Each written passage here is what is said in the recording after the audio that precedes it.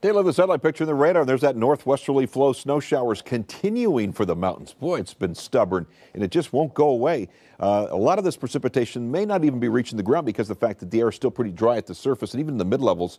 But we're still squeezing out flurries, and some of this, the lighter, the darker blue, are some snow showers. So, uh, you know, a dusting to a couple of inches of snow is still certainly possible, especially for the northern mountains of North Carolina and the higher elevations, the west-facing slopes right along the Tennessee, North Carolina line. And some of these flurries could drift for down to the south. For the rest of the mountains of North Carolina, even North Georgia, maybe even the mountains of South Carolina, very slight chance. You did see some flurries this morning. But then once you get outside of the mountains and into the foothills, it starts to become just rain showers. But now it's even could even mix with some snowflakes, even for you folks in Morganton and Hickory, and especially in Marion, as of course it gets colder and colder through this evening. Our official high today was only 52 degrees in the upstate, 10 degrees below the average this time of the year, and that breeze this afternoon developing made it feel even colder than that. Only 43 was the high this afternoon at the Asheville Regional Airport, 13 degrees below the average for this time of the year.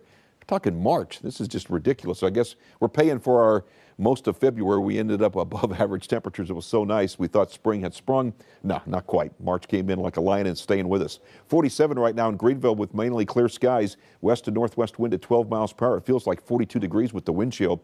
Partly cloudy skies in Asheville to mostly cloudy skies. Currently 36 degrees. Few snow flurries flying around. Feels like 26 degrees though, thanks to that north to northwest wind at 16 miles per hour and gusty from time to time. Mostly clear skies. Currently 45 degrees in Spartanburg. It feels like 38 degrees with the wind chill. 45 in Anderson with clear skies, but it feels like 39 degrees with that west wind at 13 miles per hour. Look how cold it is. Already 29 in Cullowhee. 50 in Columbia. It's only in the upper 40s along the Grand Strand and Myrtle Beach. Same story in Atlanta where it's 47. There's the dip in the jet stream. It's 59 degrees in Orlando. That's ridiculous. This is cold in the entire eastern half of the country. A big dip in the jet. These little pieces of energy coming down the pike. Uh, the snow is continuing to melt away up in New York City. 29 when you wake up this, at 7 o'clock in the morning tomorrow. So uh, not a lot of moisture, so only a few areas of frost possible, but a breeze will pick up out of the southwest tomorrow afternoon, which will bring in milder temperatures. Instead of the northwest, it'll be a southwest breeze. Not as cold tomorrow afternoon, but still very breezy in the afternoon and a very cold start to the day, obviously, in the mountains. Look at these highs tomorrow in the mountains, so a little bit better than today, that's for sure, but still below average temperatures. Now, going through the day on Friday, we'll have increasing clouds coming in late in the day on Friday, but then over the weekend, here comes our storm system. Now, it may start off in some of the higher elevations, a little bit of wet snow snow Saturday morning, but then it becomes all rain across the entire area by Saturday afternoon, especially on Sunday.